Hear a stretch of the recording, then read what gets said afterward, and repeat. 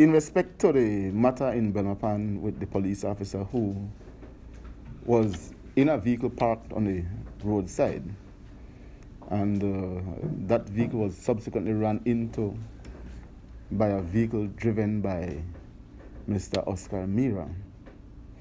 That matter is currently being investigated by the police, and uh, you would know that the police officer in question who was in the vehicle sustained severe head injuries and is still admitted in the hospital.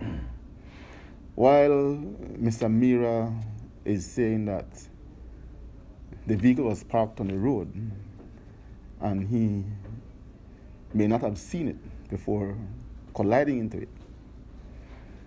From a legal perspective, that is tantamount to driving without due attention because you should be, if you're paying attention while driving, you should be able to see an obstacle in front of you, at least from reasonable enough distance, and avoid hitting that obstacle. So that matter is currently being looked at by the police, and hopefully by the end of this week, we'll decide how we proceed with that matter.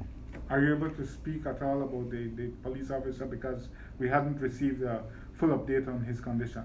Well, um, he's recovering. Thank God for that. Um, he was checked on yesterday, and he's now speaking. He's conscious, and uh, whenever he's in a proper state to give a statement, then that will be done. But um, he's recovering. Did Mr. Samira give a sample? I cannot really say at this time uh, if he did. I'll have a check with the police officers and uh, I'll provide that information to you after the press brief. Was it determined if the officer was indeed sleeping on the side of the road because reports suggest that a vehicle had that managed to avoid him had uh, made a report that someone was inside the vehicle, possibly sleeping.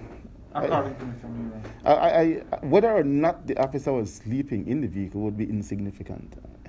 It, the vehicle was parked.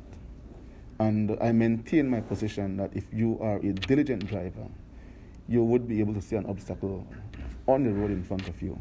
And to answer your question, Jules, in terms of the, the sample, it is standard procedures that once there's a traffic accident, police must request sample from, if there are two drivers, both drivers.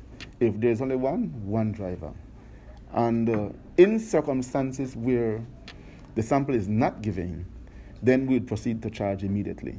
So I would want to think that the fact that he was not charged immediately would mean that he cooperated with the police and gave that sample.